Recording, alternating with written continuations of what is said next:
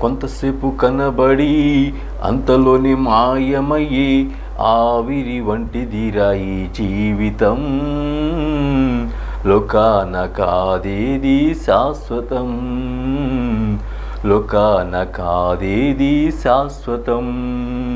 ప్రభుయేసు నిజ దేవుడు నిత్య జీవమిస్తాడు. జీవమైన మరణమైన నిన్ను విడువడు. మరణమైన జీవమైన నిన్ను విడువడు.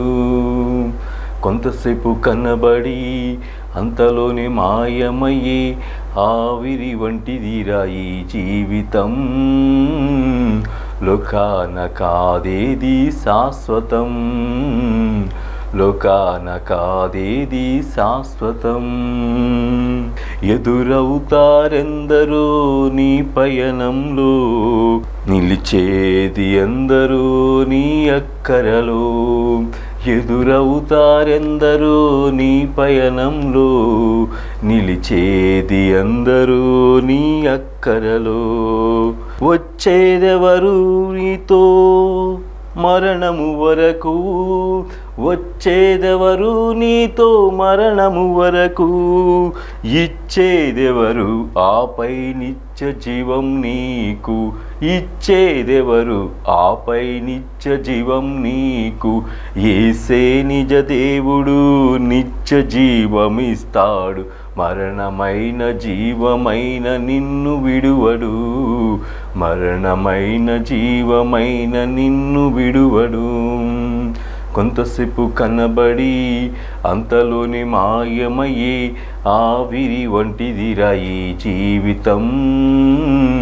లోకాన కాదేది శాశ్వతం?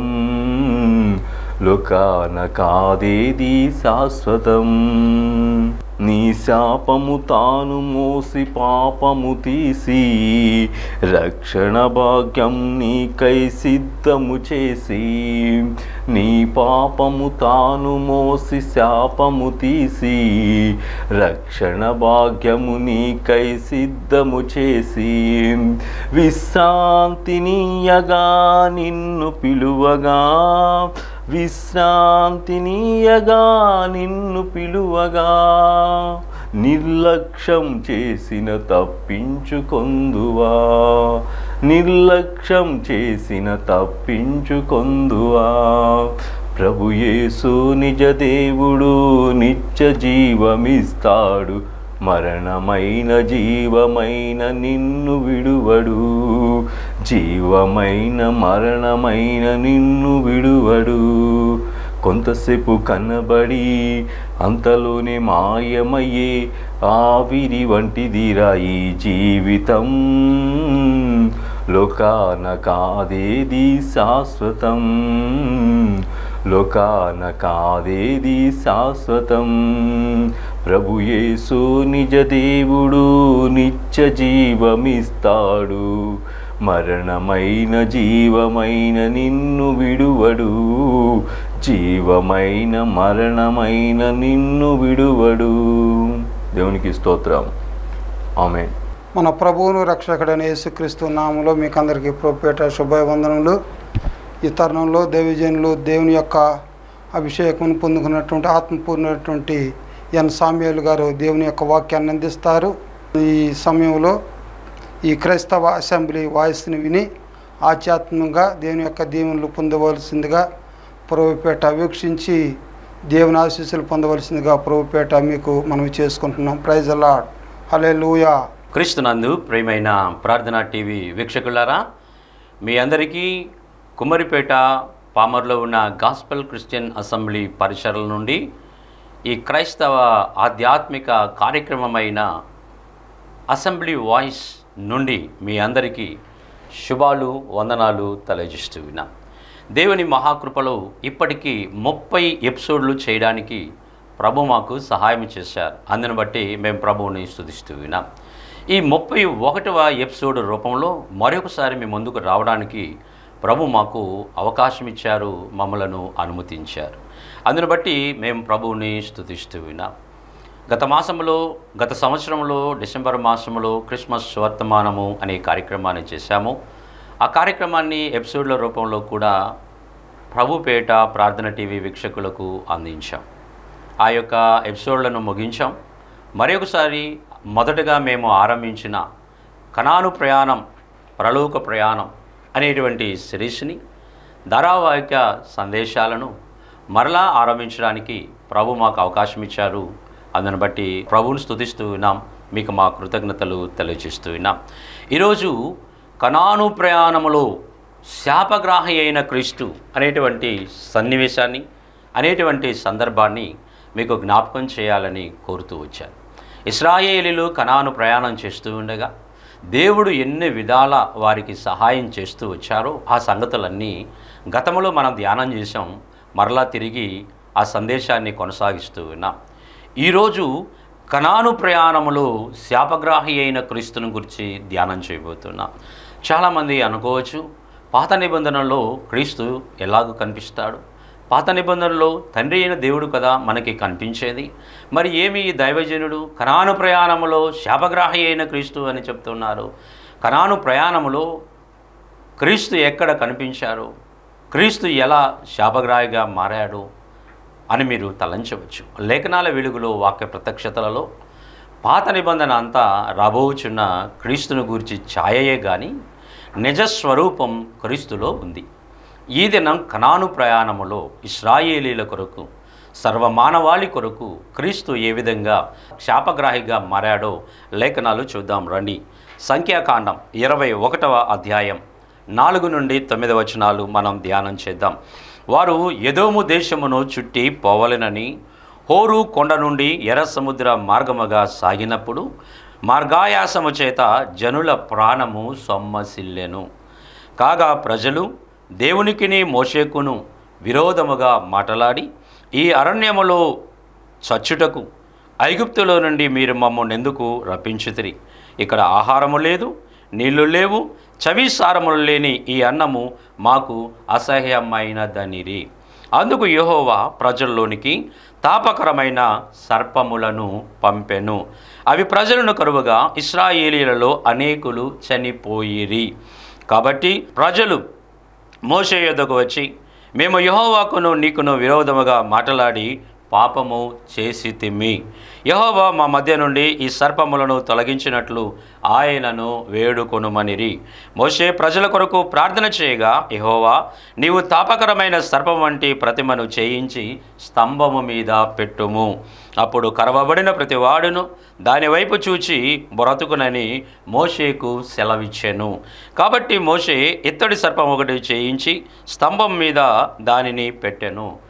అప్పుడు సర్పపు కాటు తినిన ప్రతివాడు ఆ ఇత్తడి సర్పమును నిదానించి చూచినందున బ్రతికెను ఇస్రాయేలీలు ఐగుప్తు దేశం నుండి కనాను దేశానికి ప్రయాణమైపోతూ ఉన్నారు. వారు ఈ చోటికి వచ్చేసరికి ఎదోము దేశానికి వచ్చారు. ఎదోము దేశము చుట్టి హోరు కొండ నుండి ఎర్ర సముద్ర మార్గముగా కానాను చేరాలని ప్రయత్నం చేస్తూ ఉన్నారు. అయితే వారు ఎదోము దేశాన్ని చుట్టి హోరు కొండ నుండి ఎర్ర సముద్ర మార్గముగా సాగినప్పుడు మార్గాయాసము చేత అంటే ఆ మార్గములో ప్రయాణము చేసి ప్రజలు అలసిపోయి ఆయాసము చేత సొమ్మసిల్లిపోయారు. వారు సొమ్మసిల్లిపోయినప్పుడు వారు కలిగిన ఆయాసాన్ని బట్టి వారు కలిగిన నీరసాన్ని బట్టి వారికి విరోధమైన స్వభావం వచ్చేసింది. వ్యతిరేకమైన స్వభావం కోపం వచ్చింది. అప్పుడు వారు ఏం చేశారు? దేవునికిని మోషేకును విరోధముగా మాట్లాడారు. దేవునికిని మోషేకును విరోధముగా మాట్లాడి ఈ అరణ్యములో చచ్చుటకు ఐగుప్తులో నుండి మీరు మమ్మల్ని ఎందుకు రప్పించితిరి? ఇక్కడ ఆహారము లేదు నీళ్ళు లేవు చవిసారములు లేని ఈ అన్నము మాకు అసహ్యమైనదనేది. దేవుడు ఐగుప్తు నుండి ఇస్రాయేలీలను విడిపిస్తూ ఉంటే ఆ దేవుని విమోచన కార్యాన్ని ఇస్రాయేలీలు అర్థము చేసుకోకపోగా మార్గాయాసములో ఏదో కొద్దిగా ఆహారము తక్కువైనందున నీరు తక్కువైనందున రుచి లేని ఆహారము దొరకనందున ఇక్కడ మాకు నీళ్ళు లేవు ఆహారము లేదు. రుచి లేని ఆహారము లేదు. ఇక్కడ చచ్చుడుకు మమ్మల్ని ఐగుప్తులో నుండి ఈ తీసుకొచ్చారా అని విరోధముగా మాట్లాడారు. దేవునికి నీ మోషేకును విరోధముగా మాట్లాడారు. చాలామందికి అర్థం కాని సంగతి ఏంటంటే విరోధం అంటే ఏమో తెలియదు. కానీ తదుపరి వచనాలను మనం ధ్యానం చేస్తే విరోధం అంటే పాపము అని చెప్పబడింది. కాబట్టి అందుకు యహోవా వారు దేవునికిను మోషేకును విరోధంగా మాట్లాడినందున దేవుడు కోపబడి ప్రజల్లోనికి తాపకరమైన సర్పములను పంపెను. అందుకు యహోవా ప్రజలలోనికి తాపకరములైన సర్పములను పంపెను. ఆ తాపకరమైన సర్పములు ఏమి చేశాను అవి ప్రజలను కరువగా ఇస్రాయేలీలలో అనేకులు చనిపోయారు. ఆ తాపకరమైన సర్పములు ఆ ఇస్రాయేలీల సమాజంలోకి వచ్చి వారిని కరువగా ఇస్రాయేలీల్లో అనేకులు చనిపోయారు. అప్పుడు ఇస్రాయేలీలందరూ చనిపోతూ ఉండగా ప్రజలందరూ మోసే యుద్ధకు వచ్చారు. మోసే యుద్ధకు వచ్చి వారు విరోధముగా మాట్లాడుట దేవునికి దైవజనుడికి విరోధంగా మాట్లాడుట పాపమే అనే సంగతి తెలుసుకుని తమ పాపమునకు పరిహారం ప్రాయచిత్తం కలగాలి అని దానికి ఒక మార్గాన్ని సూచించమని ఇస్రాయేలీలు మోసే యొద్దకు వచ్చినట్లుగా చూస్తున్నా. ఇస్రాయేలీలు విరోధముగా దేవుని మీద మోసే మీద మాట్లాడినప్పటికీ వారు తమ పాపాన్ని గమనించారు గుర్తించారు. విరోధముగా మాట్లాడడం పాపమే అనే సంగతిని వారు తెలుసుకున్నారు. అవును పిల్లారా మరి మనం కూడా ఎన్నో సందర్భాల్లో దేవునికి విరోధంగా మాట్లాడుతున్నాం. దేవుని ప్రతినిధులైన దైవజనులకు విరోధంగా మాట్లాడుతూ ఉన్నాం. మన జీవితాలు దేవునికి విరోధంగా ఉన్నాయి. మన జీవితాలు దేవుని ప్రతినిధులైన దైవజనులు కూడా విరోధంగా ఉన్నాయి. ఇది పాపము కాదా? ఆలోచించండి. ఇస్రాయేలీలు పాపము చేశాము అని గుర్తించారు. మరి మీరు పాపము చేశారు?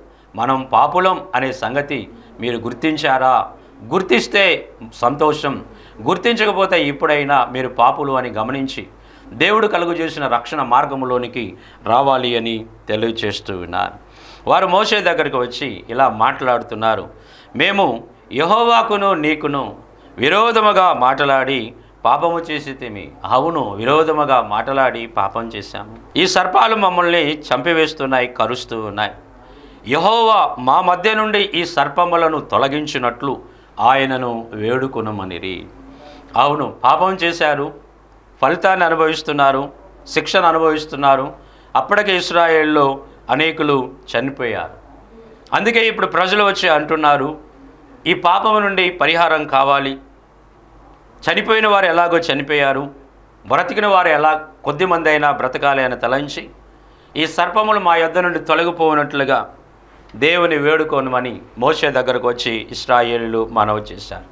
అప్పుడు మోసే ప్రజల కొరకు ప్రార్థన చేశారు. మన జీవితంలో కూడా పాపం చేశాము అని గ్రహింపు వస్తే ప్రార్థన చేసి ఒప్పుకొని ప్రాయచిత్తం కోసం దేవుని మార్గాన్ని అన్వేషించడం మంచిది అని జ్ఞాపకం చేస్తున్నాం. అప్పుడు మోషే దేవునికి ప్రార్థన చేయగా దేవుడు మోషేకు ఒక ప్రణాళికని తెలియజేశారు ఆ ప్రణాళిక ఏమి అని ఆలోచిస్తే యహోవా మోషేతో చెప్తున్నారు నీవు తాపకరమైన సర్పం వంటి ప్రతిమను చేయించి స్తంభం మీద పెట్టుము.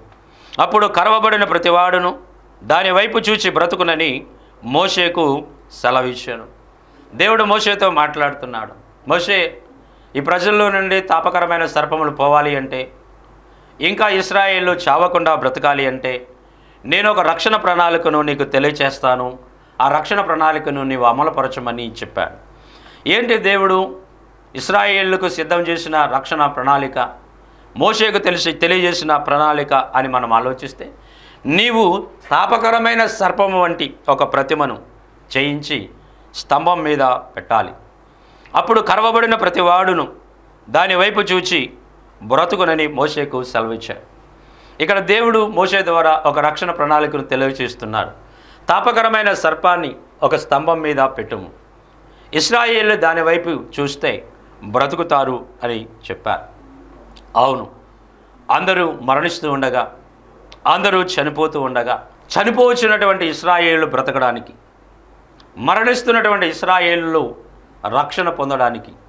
దేవుడు అరణ్యములో కణాను యాత్రలో ఒక రక్షణ మార్గాన్ని ఏర్పాటు చేశారు. అదేమనగా ఒక సర్పాన్ని స్తంభం మీద పెట్టాడు.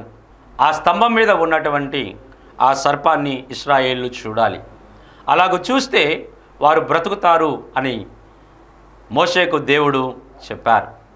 యశా గ్రంథంలో కూడా మనము చూస్తాము. మనము దేవుని వైపు చూచి రక్షణ పొందాలి అని. మనము యేసు వైపు చూచి రక్షణ పొందాలి అని జ్ఞాపకం చేయబడుతుంది. కాబట్టి మోషే ఇత్తడి సర్పం ఒకటి చేయించాడు. దాన్ని స్తంభం మీద పెట్టాడు. ఈ ఇత్తడి సర్పము ఎవరు అని ఆలోచిస్తే ఇది మన ప్రభు అయిన యేసుక్రీస్తునకే సాదృశ్యంగా ఉంది. ఇత్తడి సర్పాన్ని చేయించాడు ఒక స్తంభం మీద పెట్టాడు సర్పము కాటు తిన్న ప్రతి వాడును ఆ ఇత్తడి సర్పాన్ని నిదానించి చూడమని మోసే చెప్తూ ఉన్నారు. అవును ఆ ఇత్తడి సర్పాన్ని ఎవరైతే నిదానించి చూస్తున్నారో వారిలో ఆ సర్పము విషము ఉన్నప్పటికీ వారు సర్పపు కాటు తిన్నప్పటికీ కూడా ఆ ఇత్తడి సర్పం వైపు నిదానించి చూచిన వారు బ్రతికినట్లుగా చూస్తున్నాము అప్పటికే సర్పపు కాటు చేత ఇస్రాయిల్లో చాలామంది చనిపోయారు. అప్పటికి రక్షణ ప్రణాళిక వారికి అందుబాటులో లేదు.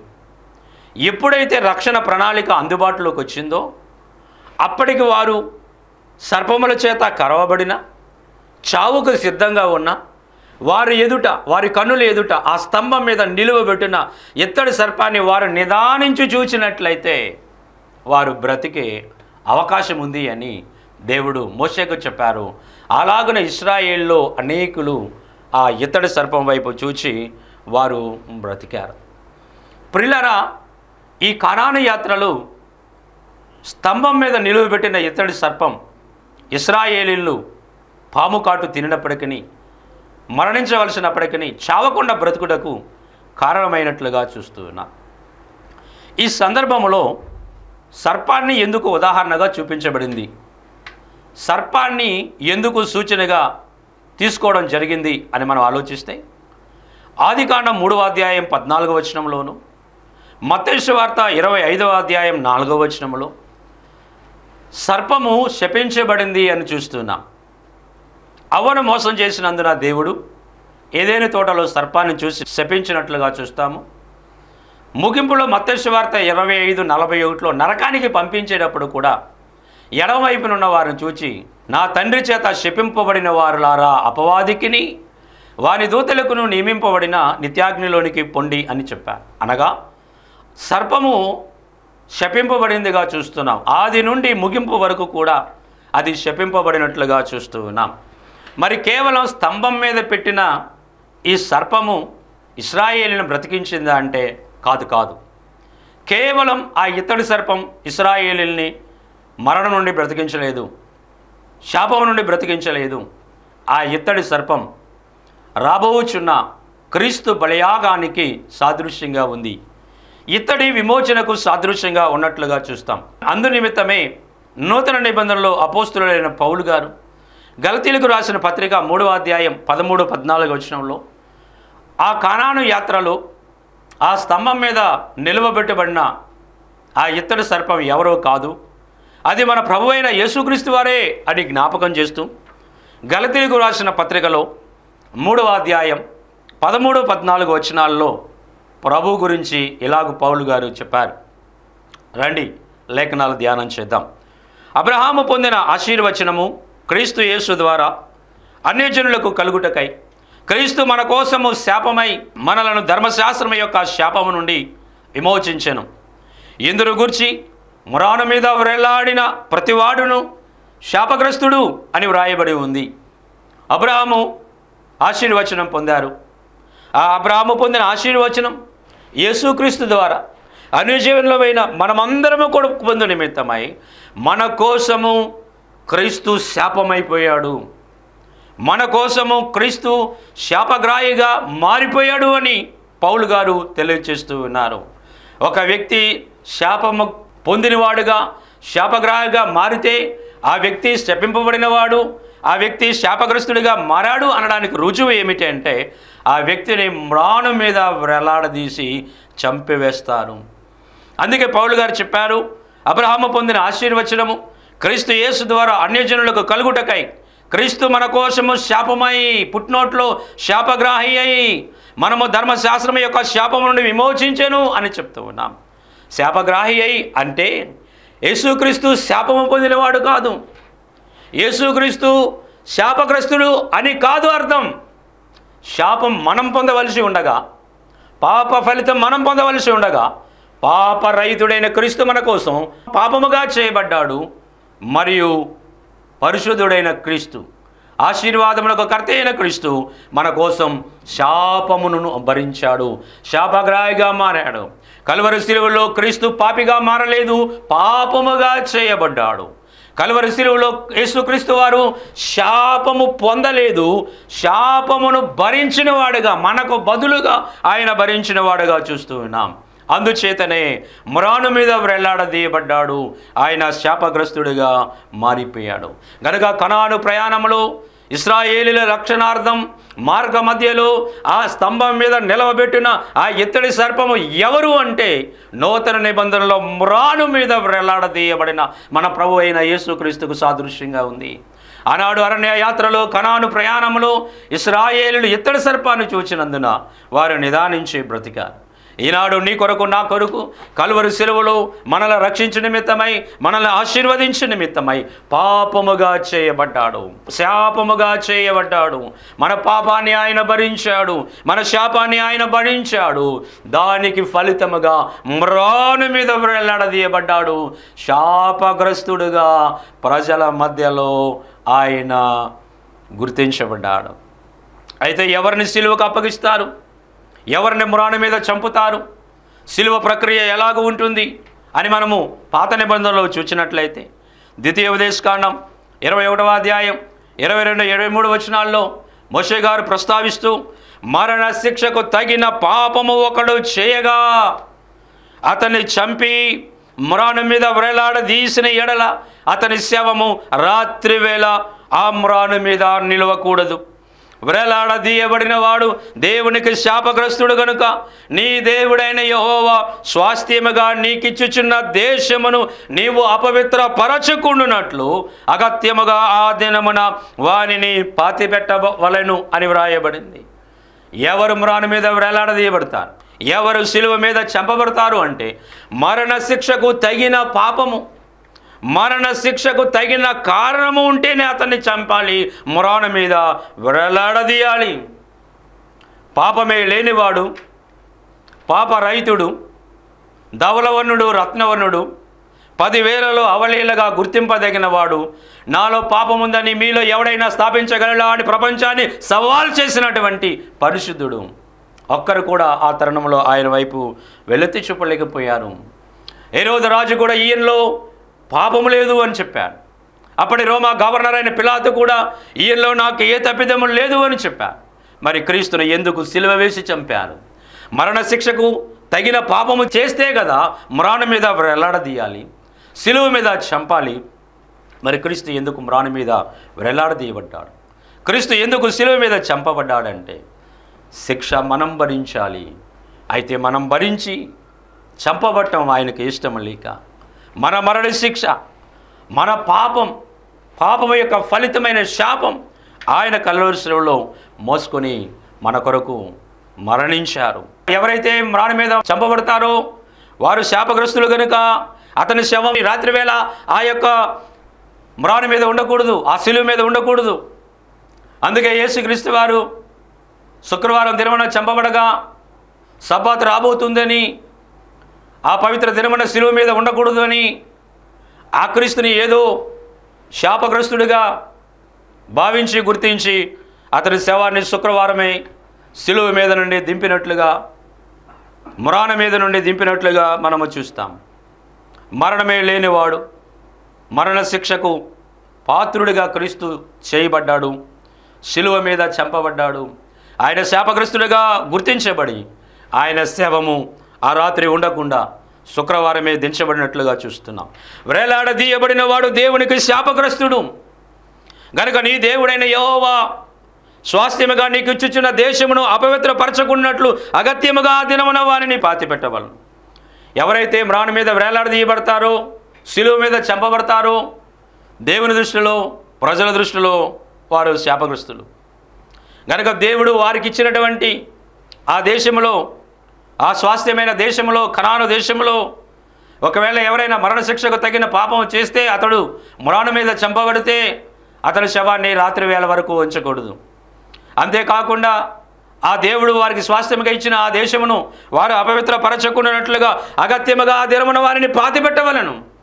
క్రీస్తు మన కొరకు శాపగ్రస్తుడిగా ఎంచబడి అదే దినమున శుక్రవారమున ఆయన శిలువ మీద ఉంచకుండా మురాణ మీద ఉంచకుండా అదే దినాన ఆయన శిలువ మీద నుంచి దించినట్లుగా చూస్తూ ఉన్నాం.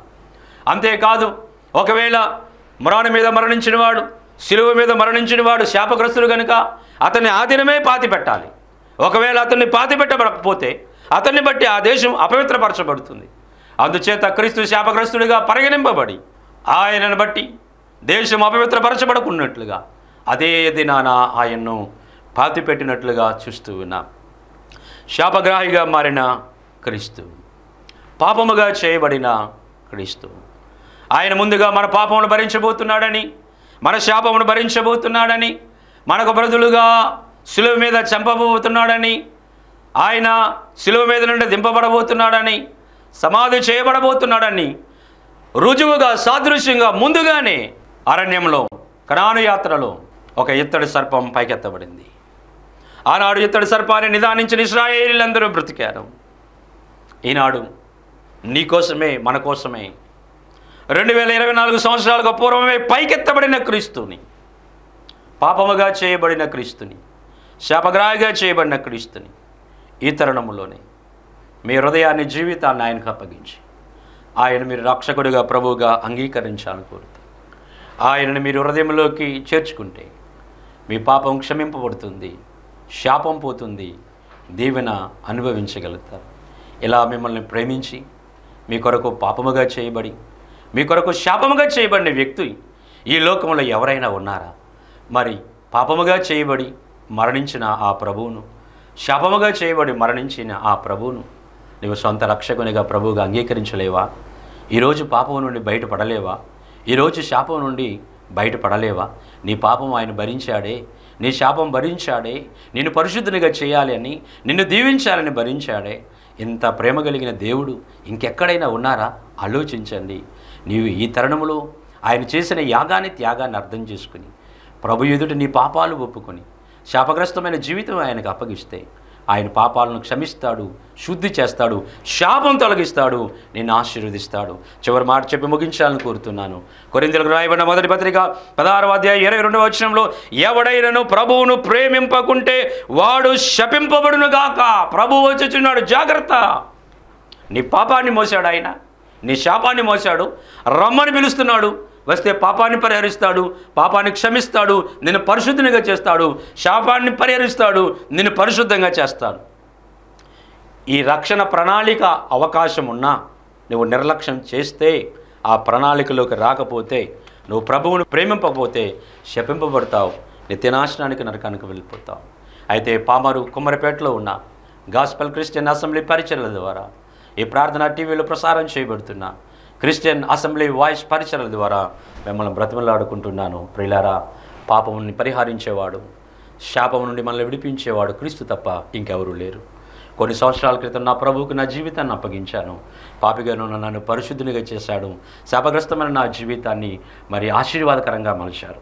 మీరు కూడా మీ జీవితాలను క్రీస్తుగా అప్పగించండి. పాప నుండి విడిపి విడుదల పొందండి. పరిశుద్ధులుగా మారండి. చిన్న ప్రార్థన చేసుకుందాం. దయాళుడా కృపగల తండ్రి ఇష్టతులు ఆనాడు ఇస్రాయేల్ కొరకు ఆయన కణాను యాత్రలో శాపగ్రస్తునిగా మారారు. ఈనాడు సర్వమానవాళి రక్షణ కొరకు శాపగ్రస్తునిగా మారారు. మీరు మా కోసం పాపముగా చేయబడ్డారు శాపముగా చేయబడ్డారు. ఆ సంగతి నేను గమనించి గుర్తించాను. మేము రక్షకునిగా ప్రభువుగా అంగీకరించాను. పరిశుద్ధునిగా చేయబడ్డాను ఆశీర్వదింపబడ్డాను పరలోకం పొందాను. ఇంకా ఎందరూ పరిశుద్ధ పొందలేదు ఆశీర్వాదం పొందలేదు. వారందరూ పరిశుద్ధతను ఆశీర్వాదాన్ని పొందినట్లుగా సహాయం చేయమని. ఈ యొక్క కార్యక్రమాన్ని చూస్తున్న వారు నాయన మిమ్మల్ని రక్షకునిగా ప్రభు అంగీకరించి నిత్యజీవం పొందుటకు సహాయం చేయమని. మా కోసం పాపముగా చేయబడి కలువరి శిలువలో శాపగ్రస్తునిగా మారి మమ్మ రక్షించడానికి ఈ లోకానికి వచ్చిన లోకరక్షకుడైన యేసుక్రీస్తు వారి నామంలో స్తుతించి ప్రార్థించి వేడుకొనుచున్నాము తండ్రి. మీ అందరికీ వందనాలండి. Thank you God bless you all ఆమె